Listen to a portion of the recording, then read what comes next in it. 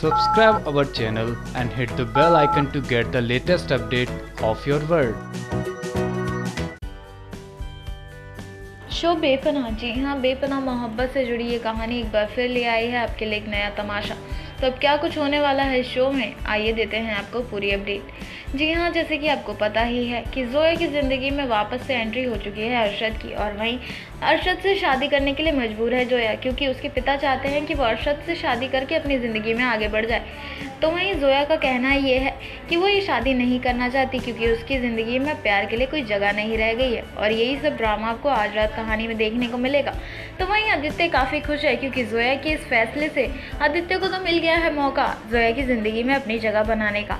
लेकिन जब जोया ये सारी बातें कर रही होगी अपने अबू से और कह रही होगी कि मैं ये शादी नहीं करना चाहती, कि तभी वहाँ पे अरशद आ जाएगा क्या अरशद को पता चल जाएगा जोया का सच कि वो उससे शादी नहीं करना चाहती है? और क्या? इसी के चलते कहानी में कोई नया ट्विस्ट आएगा। तब क्या कुछ होगा? शो में आगे ये जानने के लिए बने रही है हमारे साथ और साथ ही साथ सब्सक्राइब ज़रूर कर लीजिए हमारा channel twenty four X seven online news newsroom की report